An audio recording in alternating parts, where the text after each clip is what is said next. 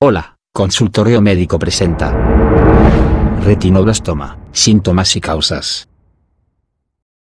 El retinoblastoma es un cáncer del ojo que comienza en la retina, el recubrimiento fotosensible de la parte interior del ojo. El retinoblastoma afecta con mayor frecuencia a los niños pequeños, pero en raras ocasiones puede afectar a los adultos. La retina está formada por tejido nervioso sensible a la luz que atraviesa la parte del frente del ojo. La retina, a través del nervio óptico, envía señales al cerebro, donde se interpretan como imágenes. Una forma poco frecuente de cáncer de ojo, el retinoblastoma, es el cáncer de ojo más común en los niños. El retinoblastoma puede presentarse en uno o en ambos ojos. Síntomas.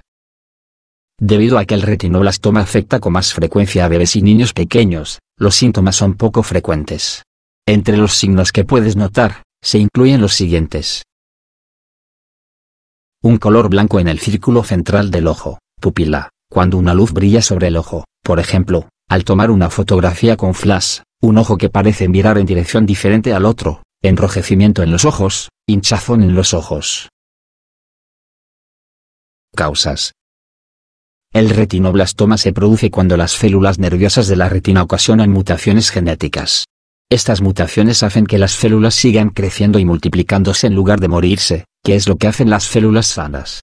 Esta masa de células acumuladas forma un tumor. Las células del retinoblastoma pueden invadir aún más el ojo y las estructuras cercanas. El retinoblastoma también puede propagarse, hacer metástasis, a otras áreas del cuerpo, como al cerebro y la columna vertebral.